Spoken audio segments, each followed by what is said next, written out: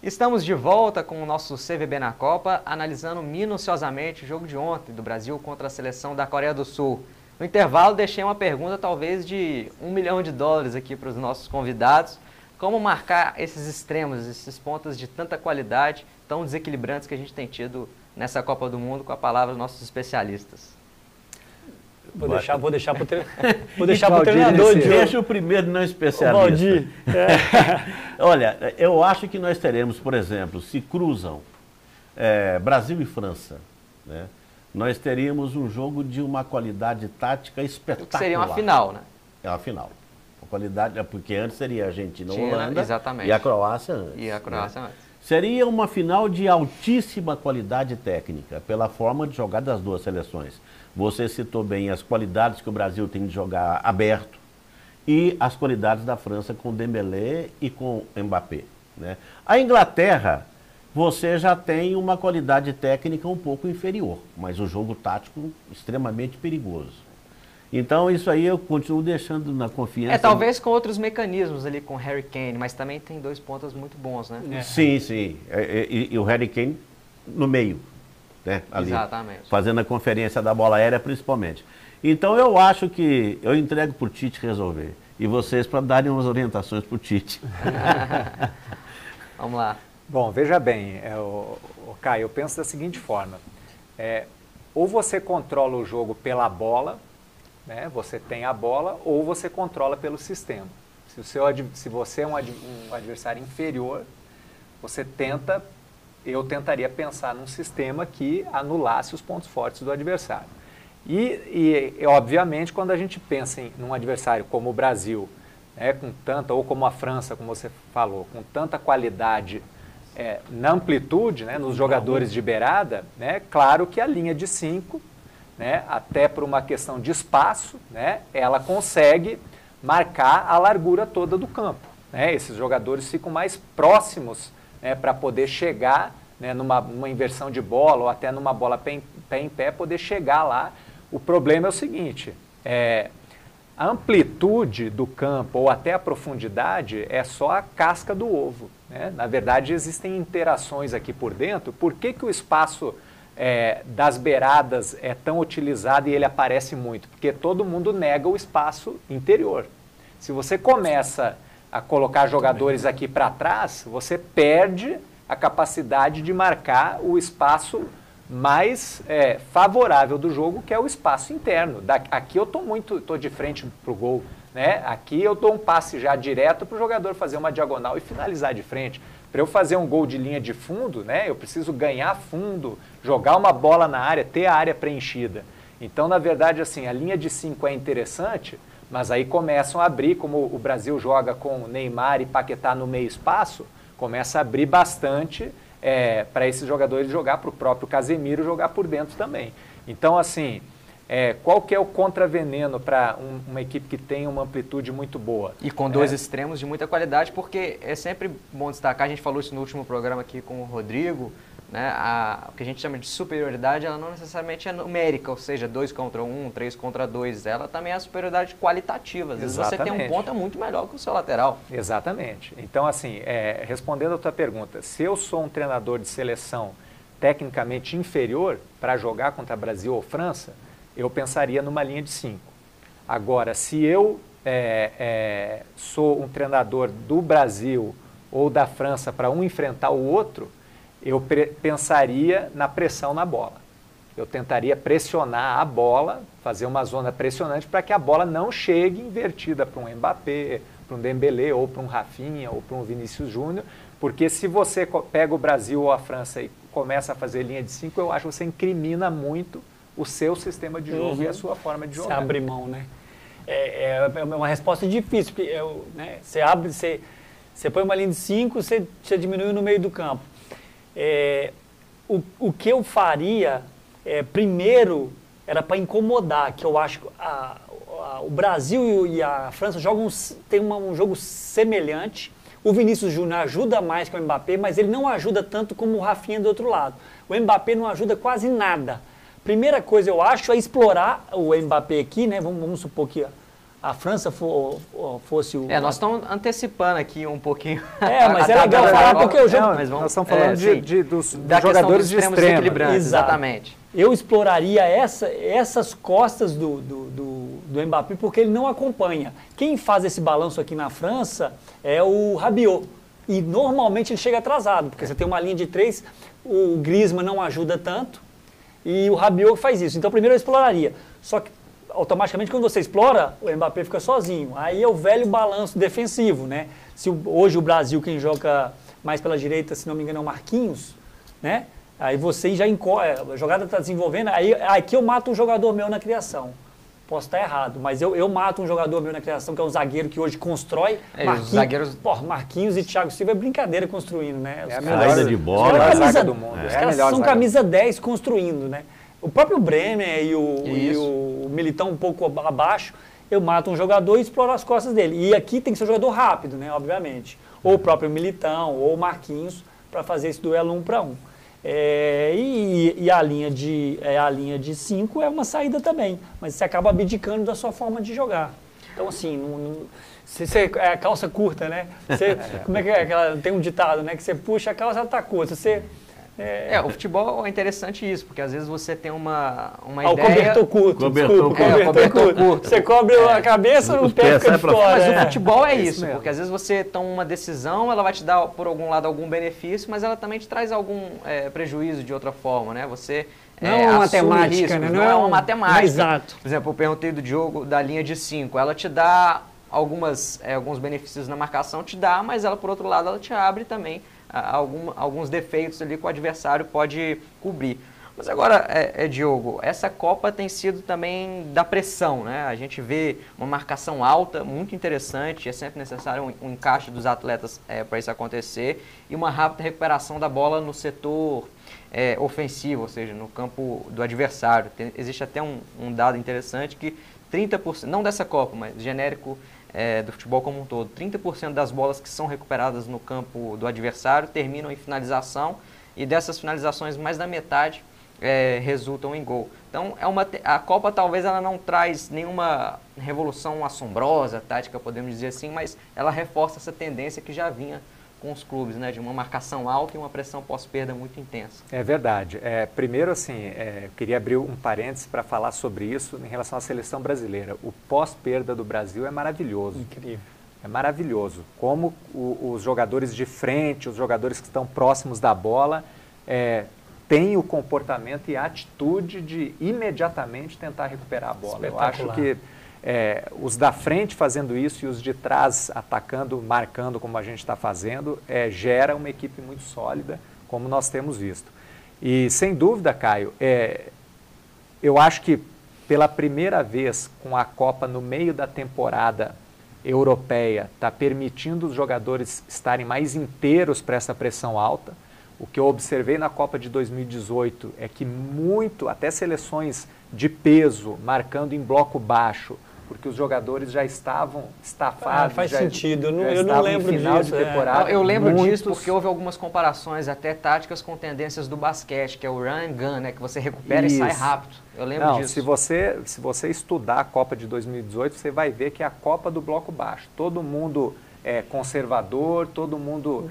E principalmente Legal, porque esse... as seleções europeias e os jogadores sul-americanos também, que jogam a maioria na Europa, uhum. estão, estavam no final né? de temporada. Então, eu acho que até estrategicamente é. os treinadores pensavam nisso. Agora não, todo mundo mais fresco, todo mundo no meio da temporada. Então, assim, mais equipes se propondo a marcar alto e o que eu conversava anteriormente com o Rafael Miranda aqui é, contando um pouquinho do case do América, eu acho que isso vale, é, do América no Campeonato Brasileiro da Série A, vale também para seleções menores na Copa do Mundo.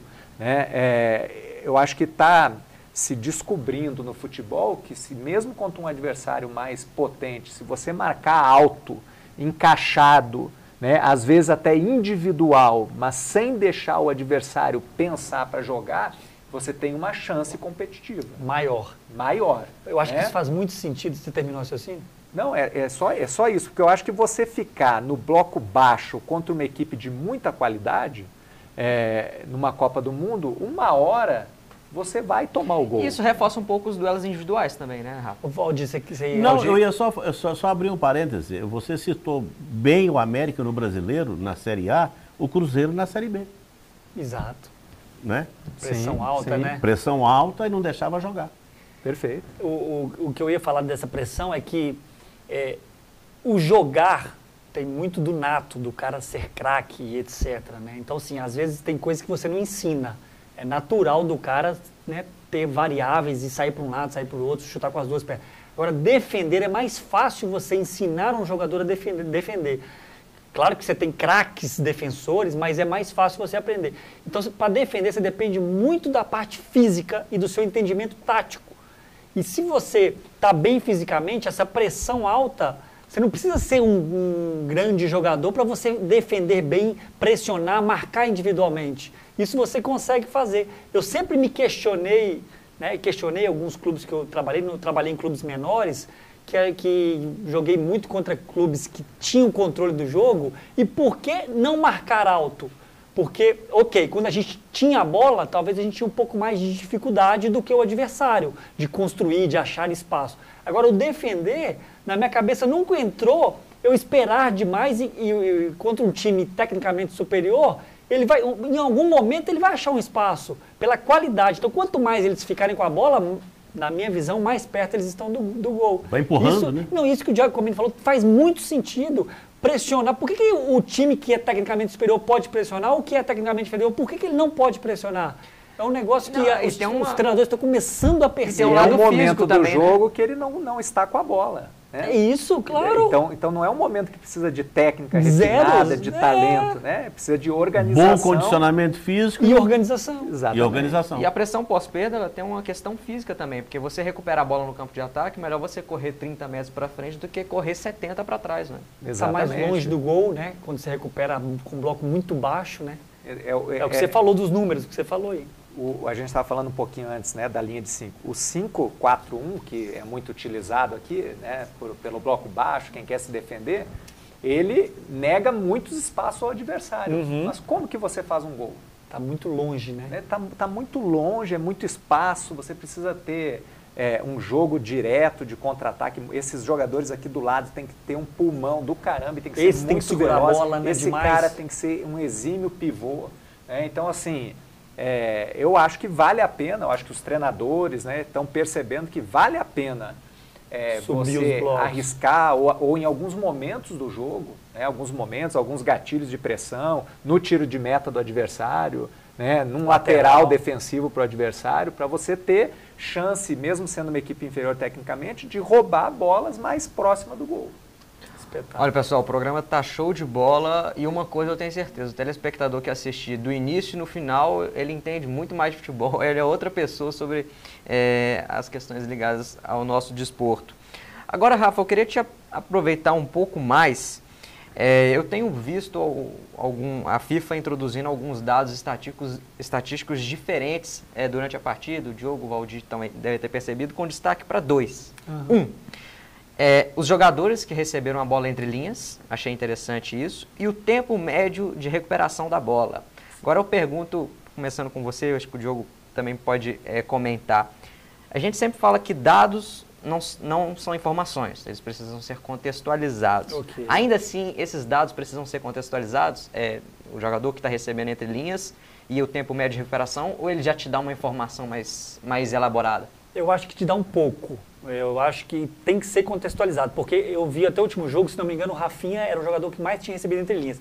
E eles estão considerando, por exemplo, o Rafinha aqui, o Brasil atacando para cá, o Rafinha que não deixa de ser entre linhas. Ah, ó, né? importante Não isso deixa aí. de ser entre Perfeito. linhas. É o conceito do que é entre Mas linhas. ele ele está recebendo normalmente aqui uma bola que ele vai pegar lateralmente, mas é uma bola muito mais à vontade do que você receber uma bola Ah. aqui entre os, né, os volantes. Até porque se a defesa estiver fechada, ele pode receber e voltar e circular por fora e não Que é- foi uma jogada tão Que efetiva. o Brasil né? faz isso muitas vezes, é aquele início da nossa conversa, que a bola vem na diagonal, ele recebe ela de frente, ele tem tranquilidade.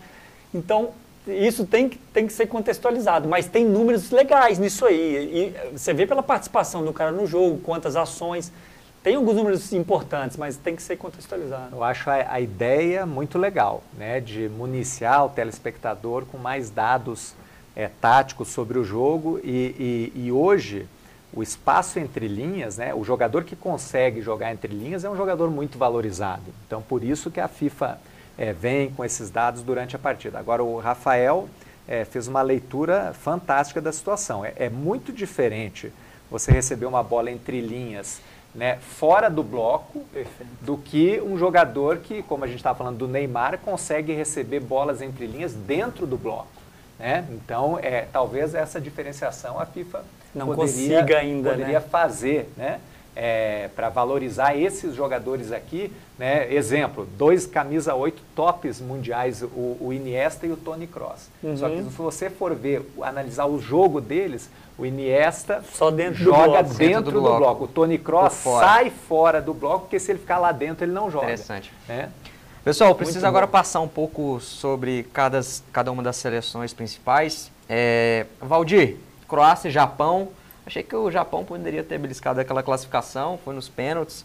É, e a Croácia mostra mais uma vez uma força mental muito forte, né? Porque em 2018 também passou, acho que duas etapas da Copa foi nos pênaltis. Sim, e, uma, e na minha opinião, uma seleção de uma qualidade técnica bem superior ao Japão, é, superior a muitas seleções da Copa do Mundo e que se torna muito mais perigosa para o Brasil. Essa é, é a minha é, é opinião sobre a Croácia. Acho o Brasil favorito nesse jogo, mas é uma seleção de extremo perigo. Agora, um pessoal muito frio para jogar. É, essa é uma característica muito é. forte, principalmente do, do leste europeu, é. né? Agora, Inglaterra e Senegal. Todo mundo esperava um pouco mais de Senegal, considerada a melhor seleção africana. É, enfim, né, podemos dizer que talvez foi a, a conjuntura do jogo. Realmente esse jogo é, não reservou tantas surpresas. A Inglaterra é, conseguiu facilmente. Ou você acha que o resultado não exprimiu o que o jogo foi? Ah, eu acho que a Inglaterra é, mudou o estilo de jogo nos últimos anos. Por completo. Acho que a influência dos jogadores que eles foram né? levando né? para a influência do Guardiola, né? Podemos dizer isso também. Né? Também, né? De treinadores, mas também de jogadores, né? De jogadores, os melhores jogadores hoje do mundo estão na Premier League, a grande maioria.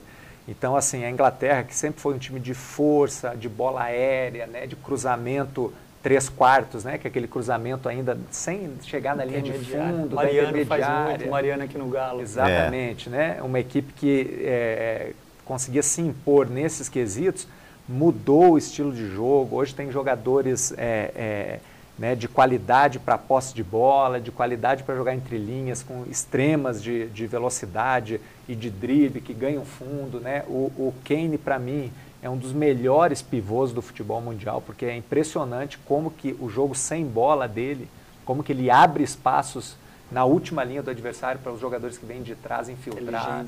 Então eu acho, eu, eu, eu acho que a Inglaterra é uma equipe forte, uma equipe muito forte aí para a sequência. Rafael, a Argentina encaixou. Infelizmente. infelizmente. É, infelizmente. Mas assim, é engraçado que essa, as pessoas, no geral, analisam o jogo é, pelo resultado, obviamente. Né? O resultado é importante, mas assim, existe um jogo, né?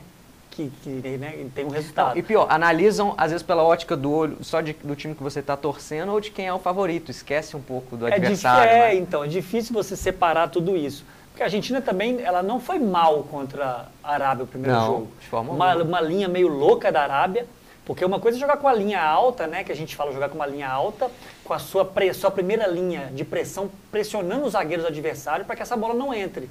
Jogadores não estarem descobertos, né, que é o jogador estar livre.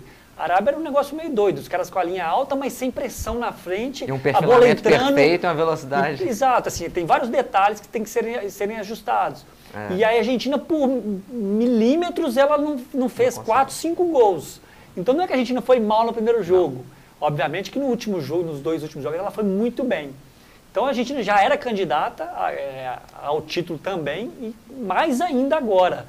É, infelizmente, ela cresceu mais e pode ser o adversário do Brasil na, foi uma coisa até né? que é, é, me assustou nesse jogo da Argentina contra a Arábia, uhum. é, atacantes como Di Maria, como o Lautaro Martinez, uhum. como o Messi, é, entrar tantas vezes impedido, né, os jogadores da, da capacidade percepção. deles, né? e, e, e não entrar habilitado nessas bolas que estava realmente o meio campo todo, né? É, Muito para eles poderem espaço, correr. profundidade. Então, se eles se posicionassem um metro antes da linha para correr na hora certa, e, é, invariavelmente iam fazer os gols. Dava para fazer isso, né? É. Ficou um jogo estranho assim, todo mundo ficou apaixonado com o esquema da Arábia, mas não, era, não é nada novo, né? Mas para uma seleção menor, é até legal a coragem da Arábia, mas não foi perfeito. E a surpresa que foi a partida, né? O A fo- resultado, Aí é você tudo. se encanta mais com a coisa, Deu, né? é, então, porque é surpreendente a forma como ele encarou a Argentina, Eles mas conseguiram- deixou muita lacuna. É. A Argentina não conseguiu aproveitar. É, mas a própria Austrália foi difícil o jogo, assim, né? O primeiro tempo dificílimo, depois a Argentina Engrenou, né? conseguiu engrenar. É, mostra às vezes o, que o, o próprio jogo ele vai te dando circunstâncias, problemas muito específicos para resolver. Boa, é muito é. se falou também de uma mudança de sistema da Argentina para um 3-5-2, o Enzo Fernandes com alguma outra liberdade. Por aí. É, o, o, o Messi, né, é, de falso 9. Eu acho que se chegar Brasil e Argentina, eu acho que vai ser um jogo fantástico Vai. na semifinal. Porque já foi a final da Copa América. Na minha opinião, a final da Copa América, mesmo a Argentina tendo sido campeã. E sem a atmosfera ali de jogo, né? De É, torcida, acho que vai ser exatamente. legal. Mas assim, aquele jogo já foi um jogo é, sensacional, né, de muita qualidade. E eu acho que esse jogo aí, é, ninguém vai abdicar de jogar. É um, o, o- tem craque dos dois lados. Trocação, né? Exatamente. Eu acho que vai ser um jogo muito interessante. Vamos E torcer para a Holanda. Eu, eu assim, o Brasil para mim é favorito. Não sei vocês. Eu também Brasil, acho, eu também acho. Eu aposto, se fosse para você apostar em alguém. Aposto no Se fosse na Brasil. aposta esportiva, É, Rafael Brasil, Miranda colocava o dinheirinho dele lá. Põe no Brasil. O Brasil é, claro mais uma consistente, garantia, é um né? time que está mais, mais equilibrado, é, mais e equilibrado. tem peças melhores. É. É, claro que entra outras coisas. Um monte É, de o jogo vai coisa. ficar nervoso, vai ficar pegado. um monte né? de coisa, é A clássico. torcida argentina é, É, coisa. chata, e tem feito uma festa Isso. muito bonita. É. né? É. Agora, França, Valdir, esse Mbappé, A gente comentava isso antes aqui, né? Mbappé é um jogador excepcional, né? E ele tem consciência do que ele é. Ele sabe disso. Ele tem absoluta certeza que ele sabe jogar muito. Então, a autoconfiança numa competição como uma Copa do Mundo é, é um perigo para o adversário. Ainda mais de quem sabe, né? E não é só ele. Você tem o, Dembele, o Dembélé, o Dembélé, do outro lado, o Griezmann, que é o equilíbrio da, da seleção francesa. Né? Então, o time deles é muito bom. Perderam é, é, é, o Benzema, perderam outros jogadores, mas continuou. Seis ou sete. É, mas é time de ponta. Pontíssimo. E é impressionante, né? Como é que a França né, consegue circular a bola e encontrar esses jogadores, né, Diogo? É, eu acho que a, a equipe da França, do outro lado da chave, né, sem dúvida, é, é a favorita para chegar à final. É. É, tem uma pedreira aí pela frente, a Inglaterra. Uhum. Mas assim, o, o, o estilo de jogo da França, de circulação de bola, os jogadores que eles têm para jogar no meio espaço também, os jogadores que eles têm na amplitude, eles têm muito re- recurso. Né? O Giroud é um cara muito experiente também, pra, com presença de área. Giroud. É, a equipe é, é É, a muito seleção forte. mais técnica da Europa, né? É, eu acho que sim. E é atual campeã, né? atual isso, campeã. isso, assim, o marca- marcador somático deles virem do título, né? vem- dá para eles, assim, uma leveza. Né? Nós acabamos, fomos os últimos campeões, né? Eles não estão com uma Uma pressão. pressão, né? É. Para explicar, marcador somático de forma bem genérica é como se fosse uma lembrança. né? Exatamente. Então eles têm uma lembrança boa da última Copa, né? É, é é o mesmo perigo que eu acho do Brasil contra a Croácia. Hum. Eu acho que é um jogo que o Brasil tem que resolver, não pode levar para os pênaltis. Por quê? A, a Croácia está com o marcador somático, a lembrança boa Crédito. de passar nos pênaltis. né? É. Ela passou nos pênaltis em 2018 até chegar à final e já passou agora também. Então o jogador está com aquela confiança.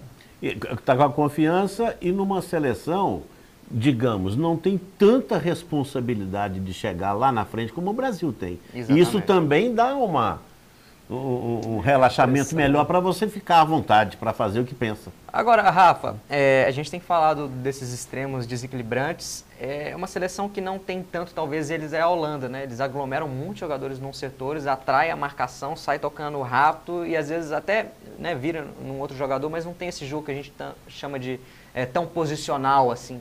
Então, eu, eu acho que aí é uma estratégia dentro do que o treinador, que, né, as peças que a Holanda já teve, carrossel holandês e, e outras gerações com mais peças, né, para você ter um controle do jogo maior com a bola, né?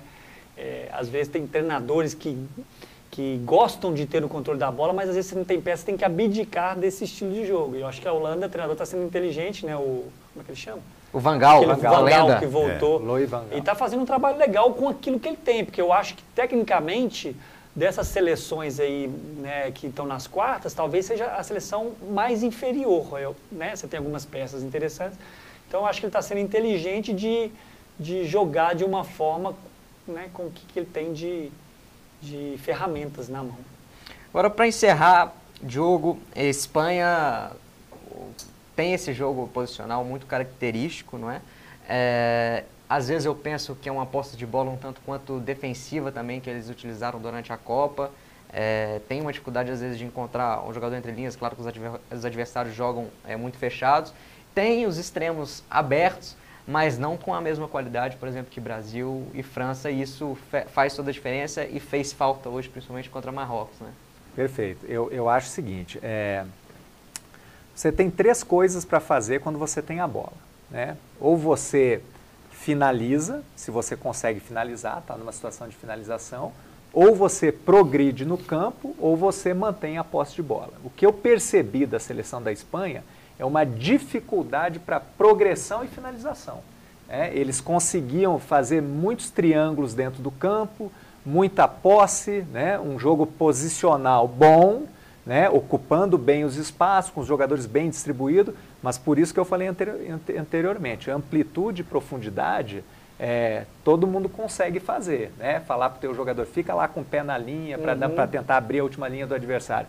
Agora, a dinâmica. A, as dinâmicas e, a, e as interações, principalmente por dentro, para você poder preocupar os jogadores por dentro, para liberar espaços para esses jogadores jogarem por, por fora. Então, assim, os jogadores da Espanha, muita posse, mas assim, os jogadores não ganhavam fundo, né, não, sem jogada individual, sem vantagem qualitativa né, a, a, a não se colocando em vantagem posicional também para poder romper a última linha. Então achei pouco agressiva, uhum. é, com muita dificuldade para progredir e finalizar. Jogo muito apoiado, mas sem profundidade, sem ultrapassagem. O Brasil também, eu acho que falta um pouquinho no Brasil. Vamos cornetar um pouquinho o Brasil também. Eu acho que o, o, o, Brasil assim arrisca pouco, é muito equilibrado. O Brasil não toma contra-ataque. O gol que tomou e as chances do adversário, nenhuma foi contra-ataque. Algumas foi, a maioria, algum, alguma tomada de decisão errada no setor defensivo. Mas o Brasil não faz ultrapassagem, raramente. Não sei se, se, se... Bom, a conversa, quando é boa, ela acaba muito rápido. Eu entendi A produção já está batendo aqui para a gente poder estar tá encaminhando o programa. Quero agradecer a presença de cada um de vocês. Né, sugerir aí o telespectador que nos acompanhe nos, nos, próximos programas, que vamos ter ainda muitas análises como essas. E também sigam aí os nossos convidados nas redes sociais. O Rafael produz muito conteúdo, segue lá o Rafael no Instagram, que essa continuidade da explicação vocês certamente vão encontrar lá. Muito obrigado, vem comigo, vem com o CVB na Copa.